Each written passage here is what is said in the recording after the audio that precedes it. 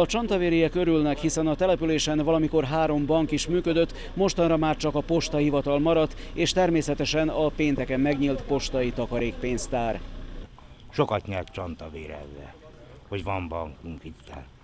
Meg a nyugdíjasok is sokat nyernek, megyünk ide, főben a nyugdíjat. Szerintem ez egy nagyon nagy lépés volt falu tér, terén, hogy azért egy kicsikét fejlődünk, mert azért ez, ahogy mondjuk Vajdaság legnagyobb települése, tehát lassan község szinten, és szerintem szükség van. Csantavér totálisan meg van most ezzel elégedve, totál örülnek az emberek szerintem, mivel nem kell bejárniuk a városba. Biztos, hogy nagyon jó lesz, hogy nem kell a befizetésnél sorba állni, mint máskor a postán, hogy kint az után sorakoztunk.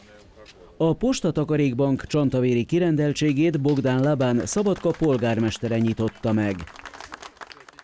Izuzetno je zadovoljstvo lokalne samouprave koje u saradnji sa menadžmentom ove banke jedan projekat od pre nekoliko meseci i na brzi i efikasan način i ostvarili.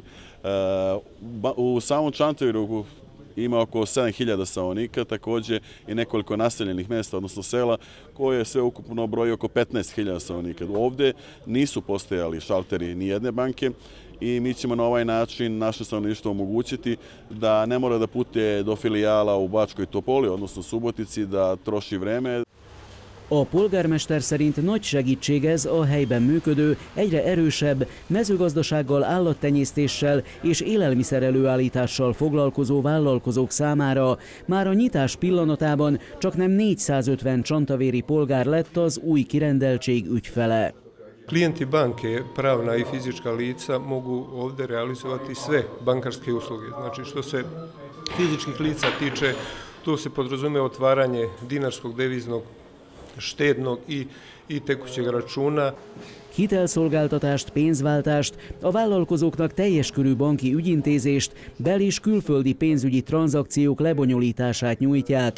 Két helybeli hivatalnokot alkalmaztak, munkanapokon 8-tól 15, szombatonként 13 óráig tartanak nyitva.